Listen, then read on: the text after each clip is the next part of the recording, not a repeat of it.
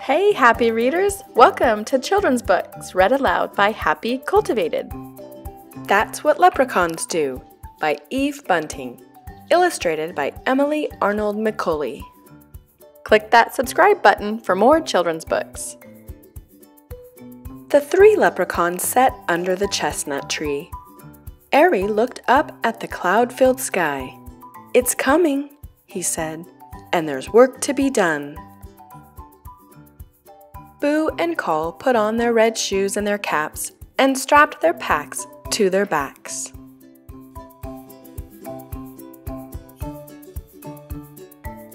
We're ready, Boo said. But why is it always us that has to put the pot of gold at the end of the rainbow?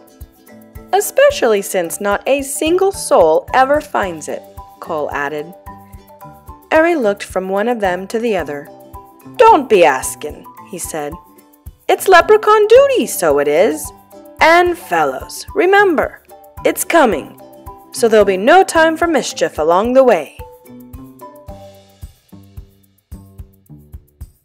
They walked in line, the one in front of the other, the other one behind. No mischief, no mischief along the way, they chanted.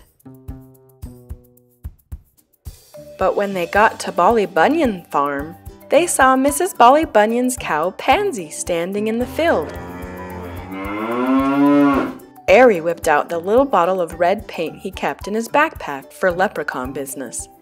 He ran across to Pansy. Stand still, me lovely, he told her, and he painted her hooves scarlet red.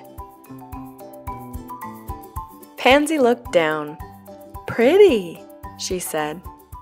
Imagine Mrs. Bolly Bunyan's face when she comes to milk you, Airy shouted. He and Boo and Cull rolled over and over in the grass, laughing. She'll think I've been to a dance, Pansy did a couple of small hop and steps to demonstrate. The leprechauns clapped and whistled. We'd be delighted to join you in a waltz or two, Airy exclaimed, but we're in a desperate hurry. I thought there was to be no mischief along the way, Boo reminded him. Och, sure, but I couldn't help myself. Mischief's what leprechauns do, Airy said, along with our more important duties. He glanced up at the tatters of clouds in the sky. And we'd better not delay, for we've delayed enough already. But as they were passing old Jamie Bradley's house, they saw Jamie's gray woolen long john spread out to dry on his hawthorn hedge. The leprechauns looked at each other and grinned. Quick as a cat pounce, they ran across to the hedge and stood one on top of the other, and the other on top of him. Airy reached up and tied the two long john legs together in a tight knot. They almost fell off each other, they laughed so hard. It would be great altogether to stay and watch old Jamie try putting his legs into those, Boo said. But it will be a month of Sundays before they're dry, and we've no time to waste. They took a few minutes to somersault across Leon McCabe's garden. There was a yellow tennis ball in the middle of the road, and they rolled it along with them as they went. Miss Maud Murphy's hen, Bridie, clucked at them from behind her gate. Bridie, Airy said, would you be doing us a favor? Could we trundle this ball up to your nest, and could you sit on it for us? It'll be the great joke on Miss Maud Murphy when she comes out to gather your eggs. Bridie put her head to one side.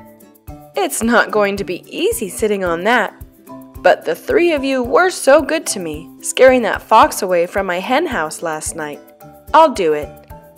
Cole stretched up and patted her wing. Thank you, Bridie. They squeezed themselves through the gate and tumbled the ball with them. Then they heaved it up and into Bridie's nest. She gave a trial sit on it.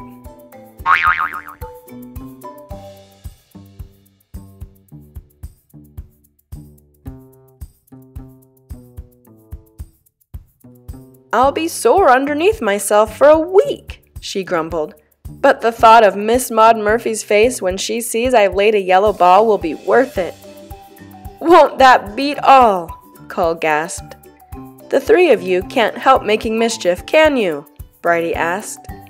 That's what leprechauns do, Airy told her, along with our more important duties. He stopped. Is that a spitting of wet I feel? Tis! Boo stared up at the sky where the sun was flickering through heavy clouds. A thin, cool rain had started to fall. Hurry, hurry, Airy ordered. It's come. We can't be late.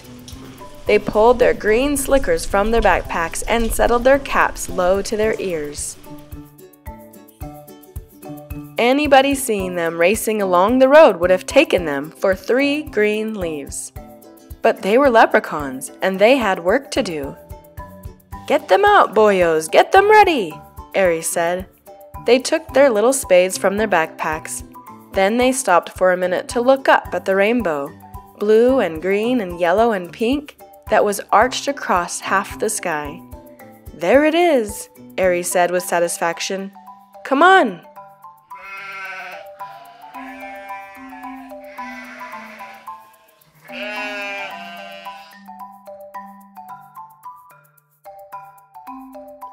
They dashed across Pattywhacker's bog, found the place there where they kept the pot of gold buried for just such a rainbow occasion, and dug it up. Airy stood in the middle of the bog. Here, he said. The three of them placed the pot of glittering gold in just the right spot and watched the rainbow curve itself all the way down till it ended on top of the pot. The leprechauns settled themselves to wait. They tootled some grass stalk music, threw raindrops at each other, and ate the rose hips they'd brought for snacks. They waited long, but nobody came. Once again, nobody came. You'd think somebody would find it, Cull complained. Somebody will, someday, Airy said. Maybe we should put up a sign, Boo suggested. Pot of gold, this way. No, no, Airy said. That's not how it's done. There's a bit of magic to the finding, and a bit of luck, and a bit of imagination, too. That gold's waiting for just the right person. The rain had stopped. The sun went behind a cloud. The rainbow shortened itself, then disappeared. No use waiting any longer. Cole took off his cap and wrung the wet out of it. If we hurry, we could be in time to see Miss Maud Murphy discover Bridie's big yellow egg, he said. Boo laughed. Won't that be the great thing to see? All right then, Airy said. We'll put a rush on this. They buried the pot again in its usual place. Airy patted the smooth down bog dirt. Don't worry, Pot, he whispered. We'll be back to get you on the next rainbow day. Now we're off again to see what new mischief we can find for besides our important duties, that's what leprechauns do.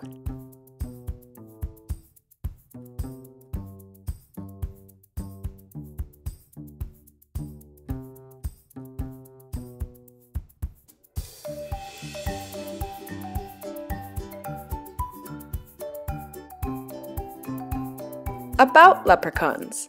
According to legend, the leprechaun is a tiny elf found only in Ireland. Most leprechauns are shoemakers to the fairies, who pay them gold for their work. The leprechauns, or little people, store their gold in pots and often bury one at the end of a rainbow. Since leprechauns love more than anything to play tricks, this may just be another one. The gold at the end of the rainbow has not been discovered yet, but if you find a leprechaun and pick him up, he must tell you where his gold is hidden. That is leprechaun law. So look for leprechauns in Ireland near clear springs of water, or close to large rock formations, or at the end of a rainbow.